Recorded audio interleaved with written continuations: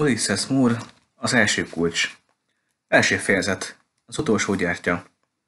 A csillagok ragyogtak a végtelen némaik boton egy ciklás hegyektől ölelt fensík horizontján. Aki nem ismeri az odavezető utat, sosem találná ki, hogy ott rejtőzik János papkertje. Egy ciklára emelt jókora várkastély, csipkézett ormok, voltívek, lépcsők, ciszternák úgy zsúfolódtak össze, mint meg annyi ilyet kisgyerek. Az ólomöveg ablakok résén besövítő szél bejárta a kongó folyosókat. Az egész kastély valósággal vibrált az ében. A föld alatti rácsokon át tompán villant meg a tűztükör. A kanallókban tűz parázsott, s a kémények lusta füstölegeket eredgettek. A hatalmas kert úgy gubbasztottak a gazda ajtaja előtt, mint valami óriásira nőtt pagylangó. A kastély egyik távoli ablakából erős fény szűrődött ki, ami arra utalt, hogy mögötte egy jókora, gyertyákkal megvilágított terem lehetett.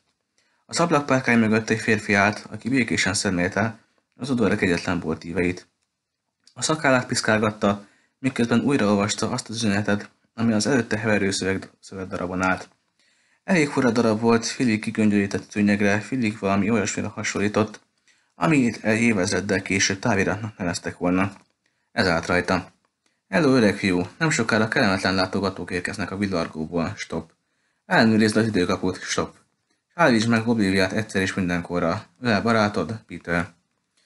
A termelt megvilágító gyertek lángja megremegett, ami azt jelentette, hogy kinyílt a helyiség egyetlen ajtaja. A férfi felismerte kínai titkárnője sajátos arcélét. Üdvözlésképpen meghajoltak egymás elé. Pontosan ahogy megjósoltad, szólt meg a nő.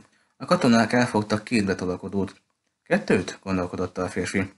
A szövettekercse a kandallóhoz lépett, és üzenetet a tűzbe dobta.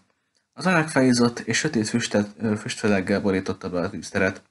Akkor mindkettőnknek útra kell kelnünk, kedvesen, és attól tartok hosszú útra. A hangjából sok-sok kellemetlen, s részben bevallhatatlan emlék haladszott ki.